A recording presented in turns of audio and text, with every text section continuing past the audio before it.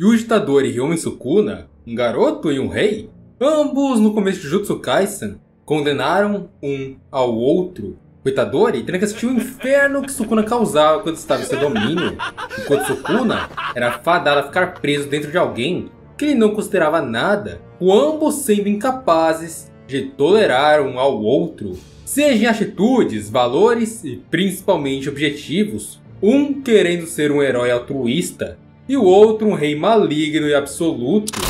Mas e se as coisas não fossem bem assim? E se os dois cooperassem? Bom, nesse vídeo eu vos apresento e se Itadori e Sukuna cooperassem. Para que esse se possa acontecer, precisamos achar um momento na história em que essa trégua barra cooperação poderia acabar ocorrendo, sem que a essência dos dois personagens fossem perdidas. Com Sukuna ainda custando ser aquele mesmo ser maligno e impiedoso, um verdadeiro rei das maldições. Itadori um garoto que quer salvar o maior número de pessoas possíveis para morrer com os rostos importantes ao seu lado, dando uma morte digna a quem ele puder. E o melhor momento para fazermos essa alteração é quando Itadori tem seu coração destruído por Sukuna, lá no arco do reformatório. Aquele é o momento ideal, já que acontece um pacto entre os dois. Então é aqui que o nosso IC vai acabar começando. Nesse momento que eu digo, é quando os dois têm um pequeno diálogo, no qual Sukuna diz que pode fazer um pacto com o garoto em troca de sua vida. Na obra original, Itadori simplesmente não dá ouvidos ao que o Sukuna quer falar e acaba por cair um pacto vinculativo extremamente desfavorável para si. Mas aqui nesse vídeo, esse pacto barra contrato com Sukuna que Itadori fez vai ser feito de forma muito mais cautelosa. Ele vai dar ouvidos ao Sukuna e vai entender qual é o princípio de um pacto vinculativo. E assim os dois vão firmar contrato então é aqui que vai começar o nosso e se. Itadori acaba de assumir seu corpo, mesmo sabendo que fazer isso iria acabar matando. Mas mesmo assim, ele não podia deixar seu amigo ser morto por Ryomen Sukuna. Então ele cai no chão, já sem vida, e sua consciência parece um lugar estranho. E nesse lugar estava ninguém mais ninguém menos que Sukuna, que acaba por revelá-lo que aquele ali era o pós-morte ou melhor, o seu domínio, e que ele ainda poderia voltar à vida, se, claro, fizesse um acordo com ele. O Rei das Maldições explica como funciona um pacto vinculativo e diz que se caso as duas partes quebrassem o acordo, a alma sofreria consequências sérias.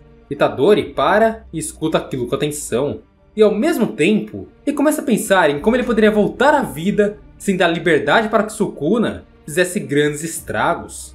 Ele reflete um pouco e lembra de umas coisas que o rei disse, óbvio, quando ele tinha sumido pela primeira vez. Abre aspas. Você é o primeiro que eu matarei assim que recuperar meu poder total. Frase dita por Sukuna para Satoru Gojo. E Yuji também se lembra que seu sensei o assegurou que venceria realmente Sukuna, mesmo se esse estivesse 100% e fora de controle. Então, pensando nisso e acreditando em Gojo, Yuji Tadori faz a seguinte proposta ao Rei das Maldições. Você é o rei, correto? Aquele chamado Rei das Maldições? E quer pegar a sua posição de mais forte, não é mesmo? Então eu tenho a seguinte proposta para você. Você vai cooperar comigo em momentos de necessidade, enquanto vamos juntos recuperar todos os seus dedos e o seu poder. E assim que você conseguir o seu poder total, você pode tomar conta completa do meu corpo e enfrentar o Gojo Sensei. No caso de você ganhar dele, você pode fazer o que quiser e eu nunca mais vou assumir. Mas caso você perca, você vai ser suprimido novamente e não deixarei mais você voltar. E aí, reizinho? Você se garante contra o Gojo com sua força total? Óbvio, já que além dele, ninguém mais poderia te dar um desafio à altura, correto? Sukuna então observando o garoto dá um sorriso. Seu pirralho idiota, você acha mesmo que no máximo daquele moleque ele me venceria? Bom, você não disse nada sobre o tempo sobre arrumar meus dedos. Eu só citarei se a restauração do meu poder for uma prioridade máxima e nenhum outro objetivo ficará acima disso. Itadori então alcançou seu objetivo e responde da seguinte forma: Tudo bem, mas se caso você consumir vários dedos e você assumir o controle, você não poderá causar nenhum dano a nada ou ninguém. Sukuna finaliza dizendo: Ok, esse moleque, acordo feito. Itadori fecha seus olhos e acorda já em uma sala estranha que parecia ser um ambiente hospitalar e percebe a presença de três pessoas ali, e que ele estava prestes a sofrer uma autópsia, ele cumprimenta seu sensei Gojo, que fica muito feliz ao revê-lo. Tadori, por outro lado, já o interrompe dizendo que precisava contar algo a ele. Dessa vez o pacto é lembrado e o explica do trato que ele fez com Ryomi Sukuna, afirmando que eles deveriam coletar os dedos rapidamente, para que assim o próprio Gojo o subjugasse e fosse contido assim por definitivo por toda a história.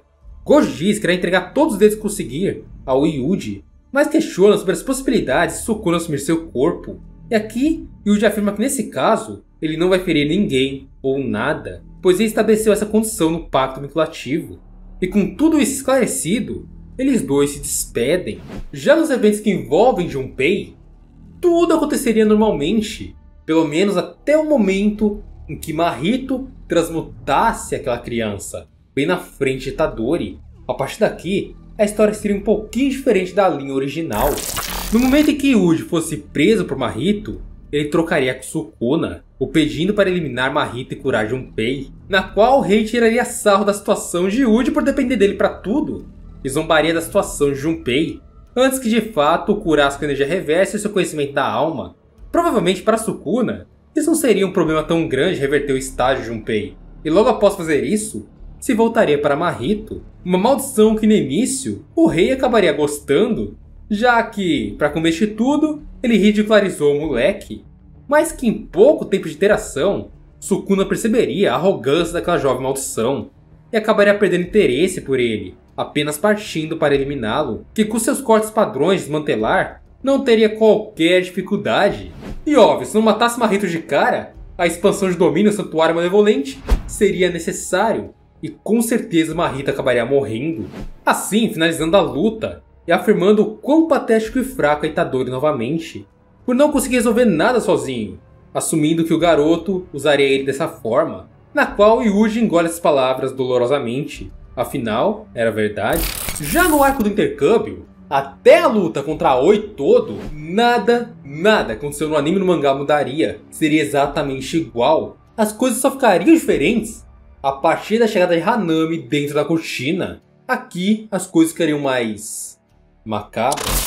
No momento em que Yuji notasse a presença da maldição de grau especial que não deveria estar ali, ele todo correria ao local. Itadori já iria avisando Sukuna para ele se preparar para ajudá-lo. O rei, óbvio, não gosta da ideia inicialmente, por se tratar de uma maldição, entre aspas, fraca. Mas como havia um contrato, ele teria que fazer. Então ele diz para o moleque que vai cuidar da situação e pede para assumir o controle do corpo. Itadori assim o faz, já que Sukuna, nesse momento, não ofereceria perigo para si ou para seus amigos. Assim, Sukuna assume o corpo e já diz para todos sumir dali e não atrapalhar. Todo, obviamente com medo, sentindo a presença do rei, recua com receio do que aconteceria, ao mesmo tempo, ninguém ficaria preocupado com Yuji, o seu novo best of friend. E a partir daqui, Sukuna vai até Hanami. A maldição se intimidaria com a presença do rei hesitaria em atacá-lo por um momento. Mas Sukuna, apontando seu dedinho e fazendo um sinal, já mandaria ela partir para cima. E assim Hanami faria seu primeiro movimento, invocando uma grande quantidade de plantas para cercar e esmagarem o rei, que simplesmente não deu outra, fatiou todas sem sequer encostar nelas e nesse momento partiu para cima de Hanami, pretendendo uma pequena diversão, assim como ele fez com o jogo originalmente lá em Shibuya. Hanami seria arremessada várias vezes contra várias árvores e também construções de toda a região, sendo levada até uma área mais isolada, na qual Sukuna decide parar a brincadeira e expandir esse santuário. Em um alcance curto para não atingir ninguém além da maldição, Hanami seria exorcizada reduzida a vários pedaços, sem qualquer chance de resistência. O rei afirma que conseguiu se divertir um pouquinho, mas que ainda nem de perto queria ter lidado com aquele ser tão fraco. Então ele dá o controle de volta a Itadori, que fica em choque com a brutalidade do Rei das Maldições ao eliminar aquela maldição. E após a eliminação de Hanami, a barreira que impedia Gojo de entrar acabaria caindo. Itadori e seu sensei se encontrariam novamente, no qual ele contaria a Gojo como foi a luta contra a maldição de grau especial, falando sobre o poder de Homen Sukuna e sobre o santuário malevolente, coisas que Satoru Gojo ouviria de certo modo empolgado, esperando para a hora que fosse enfrentar aquele mesmo Ryomen Sukuna em seu máximo. E nesse momento, Sukuna aparece na bochecha de Yuji e fala o seguinte para Gojo e Yuji. Faltam 17 dedos até chegar sua vez. provocando os dois para que se apressassem pela busca dos dedos. Já no arco da ponte amaldiçoada, o arco que envolve a irmã do Megumi, nada seria alterado, já que naquela missão em questão, Nobara, Megumi e Yuji resolveram tranquilamente sem ajuda de ninguém. Ou seja, a interferência de Sukuna seria desnecessária, e com certeza seria a mesma resolução do arco original, mas teria uma pequena alteração. Por tudo ocorrer normalmente, com mais dois dedos sendo recuperados, Sukuna acabaria os comendo, e assim relembraria quantos dedos faltam. 16? 15? Falta pouco.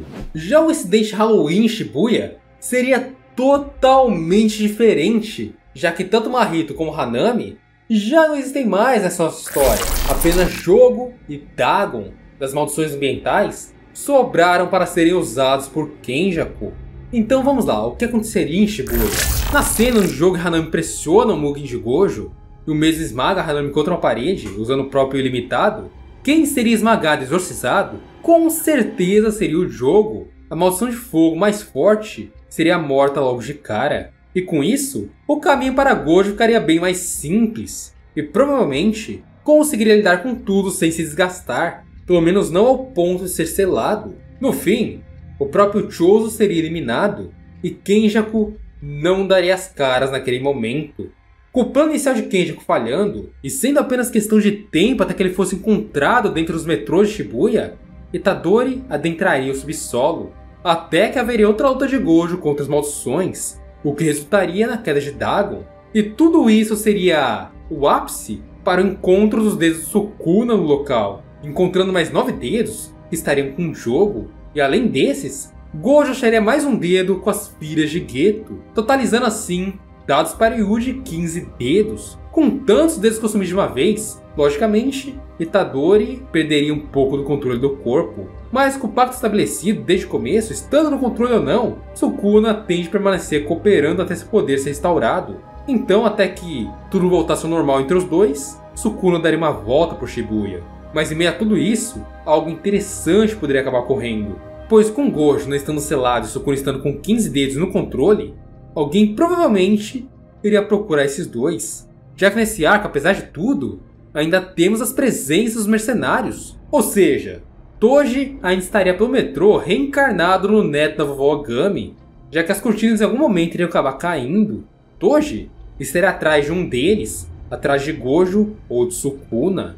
No caso de se encontrar com Satoru Gojo, teremos o terceiro round dos mais fortes, na qual mesmo se Toji tivesse sua arma se utilizando delas, com certeza, por não ter consciência nesse nosso novo arco, ele acabaria sendo impossibilitado de lutar com Gojo. Um modo de lidar com Gojo para Toji não seria possível, e com certeza rapidamente ele seria derrotado, até muito mais rápido do que foi há 12 anos atrás, sendo morto por uma segunda vez pelo mesmo xamã. E nos últimos momentos do corpo de Toji, o corpo relembrando o que houve há 12 anos, Gojo explicaria o que ele fez em relação à última frase do mesmo Tojo daquela época, contando a ele sobre o Megumi. Já se ele fosse atrás de Sukuna, teremos outros cenários para essa luta, que já foi contado lá no vídeo. E se Tojo estivesse lá do certo em Shibuya? Se quiser conferir, passa lá que com certeza você não vai se arrepender. Mas obviamente, para completar o nosso IC, com certeza Toji seria derrotado pelo Sukuna, independente de qualquer coisa. Toji não aguentaria o Sukuna 15 dedos sem sua consciência, e até mesmo desarmado, ou até mesmo com alguma arma ou outra. Sukuna simplesmente seria imbatível para Toji. Seria mais ou menos o mesmo fim que Maki teve recentemente no mangá Jujutsu. E após tudo isso, todos os feiticeiros estarão dispersos por Shibuya, à procura de Kenjaku. E quem mais poderia se encontrar com ele, a não ser um dos mais fortes, Gojo ou Sukuna? Eles eventualmente acabariam abordando e nisso, poderíamos ter um Gojo versus Kenjaku ou um Kenjaku versus Sukuna, onde óbvio, se qualquer uma dessas lutas acontecessem, o resultado seria óbvio, os mais fortes ganhariam. No caso de quem encontrar força Satoru Gojo, o honrado se assustaria ao ver Geto novamente, mas não demoraria muito para perceber que se tratava de um parasita, um impostor no corpo de seu amigo. E como foi nos contado no mangá, os seis olhos sempre pararam e impediram os planos de Kenjaku no passado. E dessa vez não seria diferente. Kenjaku seria morto por Gojo, definitivamente, sem qualquer possibilidade de possuir um novo hospedeiro, porque dessa vez Gojo com certeza não cometeria o mesmo erro de descarte irregular do corpo de seu amigo. Já no outro cenário, caso Ryomen Sukuna fosse quem encontrasse Kenjaku, teríamos aqui uma pequena alteração. Uma coisa não tão comum no mangá de Jujutsu.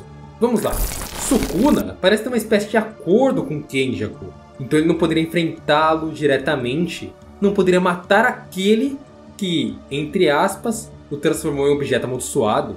Então, apenas devolveria o controle a Yuji que ficaria bem confuso porque Sukuna não lutaria agora. Então Itadori, por estar no mesmo corpo que Sukuna, por entender a alma daquele xamã, entenderia o que o rei pretendia e testaria ali aquilo que ninguém imaginaria em seu plano. Ele tentaria lançar os cortes das técnicas Sukuna, desmantelar seu clivar e possivelmente tentar uma expansão de domínio que com certeza seriam executadas com sucesso por conta de estarem no mesmo corpo e com as almas em contato constante há tanto tempo que Yuji estaria afundado na energia de Ryomen Sukuna, ao ponto de nem mesmo Sukuna conseguir mais desvincular suas técnicas daquele corpo. Então os dois enfrentariam Kenjaku, que com certeza não conseguiria lidar com o poder de 15 dedos que estariam dentro de Yuji Tadori. Lógico, nerfado, mas ainda assim seria o suficiente para o próprio filho matar a sua mãe. Ou seja, Itadori seria aquele responsável pela queda de Kenjaku. E sem conseguir sequer concretizar a simulação de Tengen, criar o jogo do abate, não ter Marito, Kenjaku teria seus planos simplesmente arruinados e sua vida perdida dentro da tentativa de provocar esse incidente gigantesco no mundo Jujutsu, os feiticeiros tendo uma vitória esmagadora em cima das maldições. Em pouco tempo, Provavelmente os últimos cinco dedos de Sukuna seriam encontrados, e contra as ordens do alto escalão, os preparativos seriam feitos, Gojo e Sukuna seriam enviados para o local isolado, na onde ambos se enfrentariam com tudo, mas dessa vez o rei não contaria com as 10 sombras, mas teria um corpo bem melhor nos quesitos de atributos físicos, e a luta seria decidida lá nas expansões de domínio, na qual, caso Sukuna perca alguma disputa e seja pego no vazio limitado, ele seria completamente paralisado e receberia com certeza um fulgor negro ou um roxo, assim como o raio negro acabou atingindo no mangá original, sendo incapacitado por Gojo naquele momento. E se isso acontecesse em algum momento da luta, dentro da nossa linha cronológica, com certeza Yuji recuperaria o corpo, reassumindo o rei, que a partir de agora não poderia voltar mais. E isso também selaria o destino de Ryomen Sukuna, que nunca mais apareceria na história. E tudo isso devido a um pacto vinculativo, sendo para sempre aprisionado dentro de Uji, até os últimos dias da existência do garoto.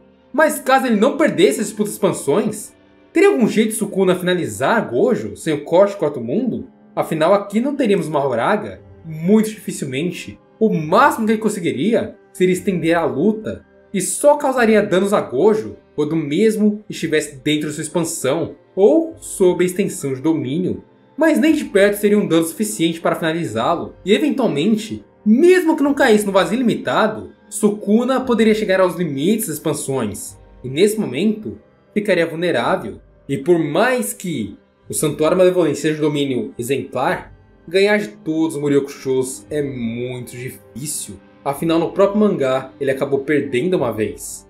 Então é quase certo que no corpo de Uji mesmo sendo mais forte fisicamente que Megumi, sem Mahoraga seria inevitável a derrota ou incapacitação do Rei das Maldições, e Yuji poderia voltar ao controle ou acabar morrendo ali. E se caso ele voltasse ao controle, com a maior ameaça de todo mundo Jujutsu tendo sido parada, e o título de mais forte sendo consagrado dessa vez para Satoru Gojo, neste momento tudo estaria nos conformes. Gojo cumpriria sua promessa, Neia Old Win, Itadori viveria uma vida até o último momento, como um herói que conteve maior inimigo dos feiticeiros. Várias vidas não teriam acabado, não teriam sido perdidas. Os milhares civis de Shibuya, Nanami, Nobara, Iguruma, Yuta e Yuki Tsukumo todos estariam vivos. Tantos outros também não teriam ferimentos irreversíveis, e no Maki todo, até Maki não seria queimada. E nesse mundo Jujutsu novo, os feiticeiros teriam um pouco de paz até o fim de suas vidas ou enquanto Gojo simplesmente fosse